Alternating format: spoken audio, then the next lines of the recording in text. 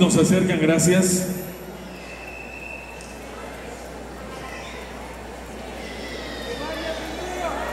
Iniciamos diferente con nuestra tercera candidata. Toda esta noche está llena de sorpresas, amigos. Para que ella palpe su pregunta y definitivamente nos ayude. Ok. Candidata número 3. Chasapi tapuykunawan katinamunawshkanchi shukutimas. ¿Qué es para usted la desnutrición infantil? ¿Y cómo aportarías para reducir el problema que afecta a los niños de nuestro cantón? Cutillara Cutipasha. ¿Qué es para usted la desnutrición infantil? ¿Y cómo aportarías para reducir el problema que afecta a los niños de nuestro cantón? Arawanu vacuna, wiñashka pachamanta, suman mikunawan mikushpa, alita wiñankapa, suman yuyaywa, suman ñambita purinkapa, yanapaykunata maskashpa, chaskisha munani, yupaychani. La desnutrición infantil es la falta de nutrientes en niños y niñas durante el desarrollo intelectual de peso y talla. Nuestro Arajuno es uno de los más afectados con esta problemática, con un alto índice de vulnerabilidad. Por ello, mi aporte sería prevenir, articular, planificar y ejecutar campañas masivas para ayudar con esa problemática a las comunidades de difícil acceso conjuntamente con el MIES, MSP, GADMIPA y demás instituciones públicas y privadas. Recordar que nuestros niños son el presente y el futuro de nuestro querido Cantón Arajuno. Señores,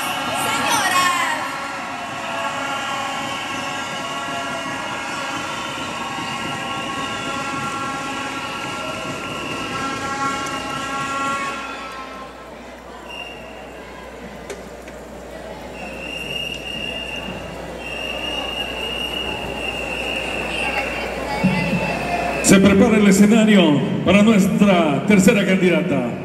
Adelante.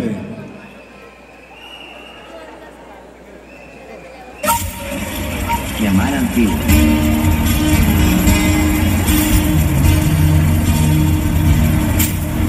Dunhui, dueña de la tierra y de los cultivos. Los Shuar vivían en un mundo carente de plantas alimenticias.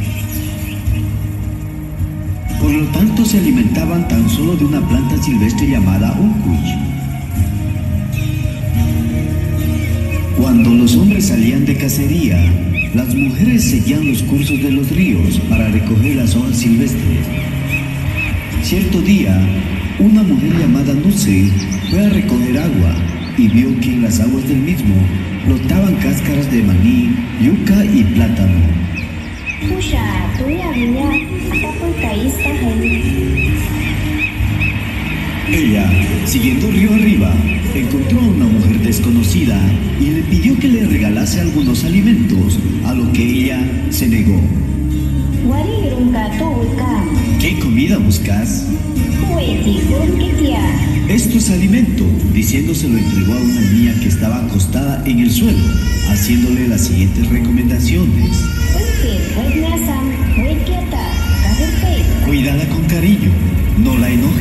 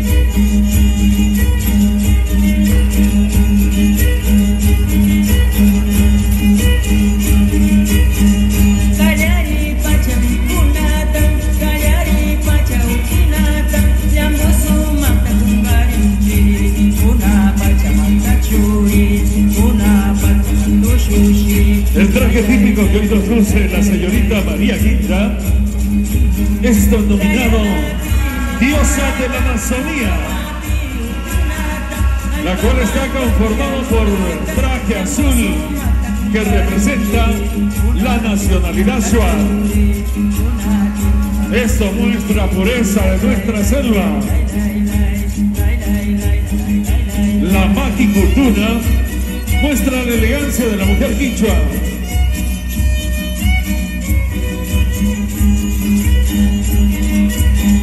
El blanco con el azul nos llena de alegría. El taparrabo, que está confeccionado en forma de B, con la fina tela de animal.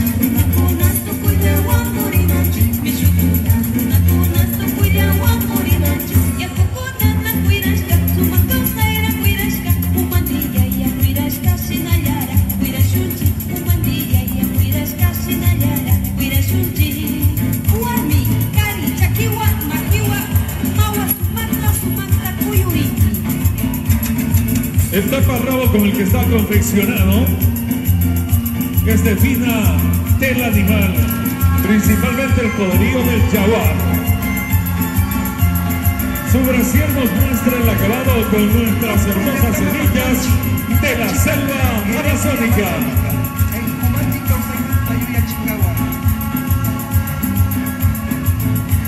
Majestuosa e imponente emerge la creación nominada Sacha Wardi.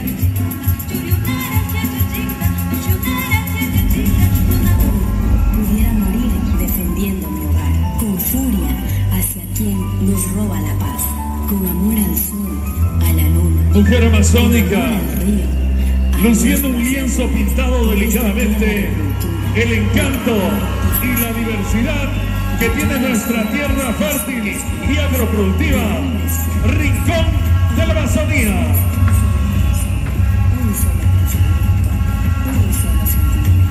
Este traje típico consta de varias piezas.